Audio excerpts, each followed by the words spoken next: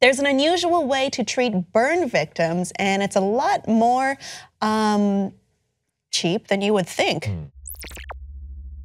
So this in um, in certain areas in Brazil, uh, burn victims might not have access to uh, human donated skin or even some forms of animal skin. So a certain other solution was come up with, uh, especially by some of the places where the world's tilapia gets farmed, and that is to use the fish skin um, on the burn victims uh, whatever has been burned, uh, be it second or even third degree. Let's take a look. A pele da tilápia, ela adere na ferida e faz um efeito que a gente chama de efeito tampão.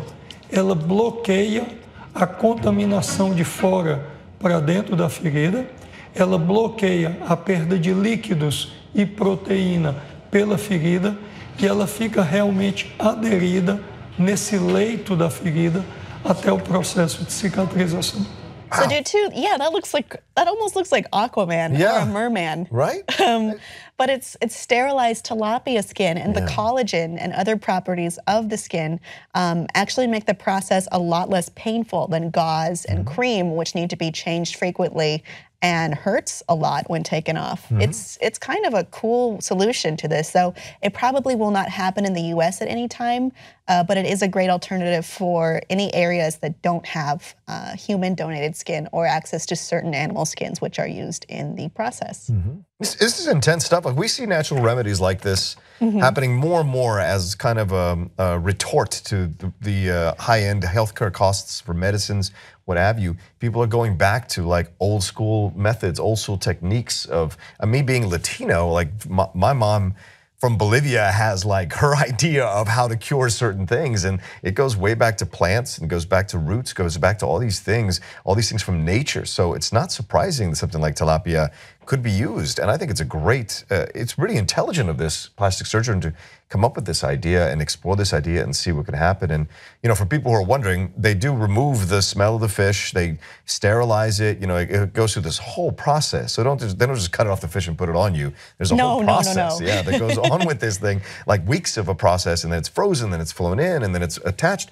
And apparently it can stay on for like two weeks long. Yeah, so instead yeah. of having to rip bandages off every day, this stays on for a long time. So I think it's fantastic. Well, if it's a second degree burn, the skin just stays on until the person scars naturally. Right, right. If it's third, uh, it will be changed over a couple weeks of treatment. Right. Uh, but it does seem to be a far less painful and mm -hmm. is able to keep in moisture under the skin until that uh, skin is able to repair itself. So it's a cool alternative for now. Mm -hmm. um, it doesn't it looks like what they're trying to do is to conduct studies and work on the comparative cost because as John said, it's mm. not necessarily just fresh fish. It's it's treated, it's yeah. sterilized, um, and using collagen proteins um, and other qualities of the skin itself to help human skin. Mm-hmm. Uh, they are hoping to do a process uh, to process the skins on an industrial scale and sell it to the public health system. After that, I just think it's kind of an ingenious method, especially.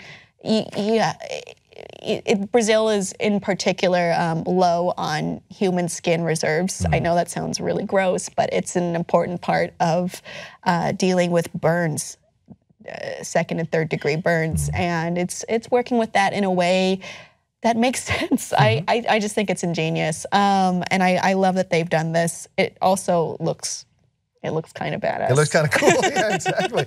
and they said it's like it's very similar to human skin with the flexibility and the movement. And the thing is, you know, when we see this when they uh, attach limbs and when they, after limbs have been cut off or, or mm -hmm. lost in battle, like they attach these. They, the technology keeps increasing every year about how much more.